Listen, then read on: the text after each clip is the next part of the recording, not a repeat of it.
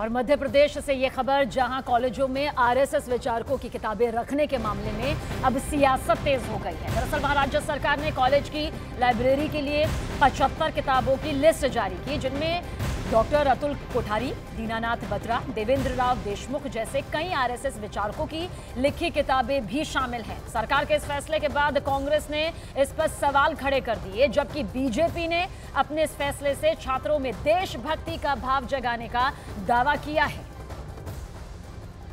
मेरा ये कहना है कि शिक्षा के परिसर को विचारधारा के संघर्ष का केंद्र नहीं बनना चाहिए। दूसरी बात वही कंटेंट पाठ्यक्रम में शामिल होना चाहिए, जो रेलेवेंट हो। या तो रोज़गार दे, या समझ पैदा करे। अगर कोई ऐसा कंटेंट हम शामिल करते हैं, जो ब्रेन की विशेष दिशा में कंडीशनिंग करने वाला हो तो वो तो ना शिक्षा के लिए उचित होगा, ना देश के लिए उचित होगा। अकबर महान पढ़ाएँगे इस देश के अंदर। तो ये अच्छा लगता है कांग्रेस को। कांग्रेस तुष्टीकरण की राजनीति करती आई है। कोई भी पुस्तक है और हमेशा झूठ और छल कपट की राजनीति करते हैं डिवाइड एंड रूल की राजनीति करते हैं। उन्हें तो यही चाहिए। लेकिन भारतीय जनता पार्टी की सरकार में न कभी ऐसा हुआ।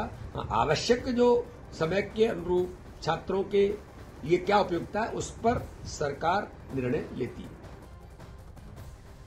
और हमारे सहयोगी मनोज शर्मा इस पर ज़्यादा जानकारी के साथ। मनोज किस तरह से सियासत इस पूरे मामले को लेकर आगे बढ़ रही है? जो सरकार का सीधे तौर पर कहना है कि जो भी फैसला लिया गया है, वो नई शिक्षा नीति के तहत भारतीय ज्ञान परंपरा को आगे बढ़ाने के लिए जो किताबें सरकार को उचित लगती है, और फिर बाकायदा पचहत्तर जो किताबें हैं, उनकी एक लिस्ट सरकार की तरफ़ से जारी हुई है।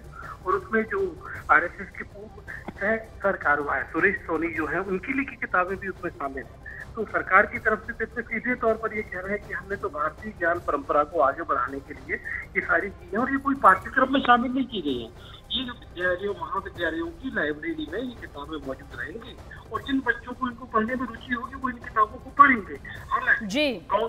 ठीक ठीक मनोज यानी कि सियासत इस वक्त मध्य प्रदेश में इस पूरे मामले को लेकर चरम पर है।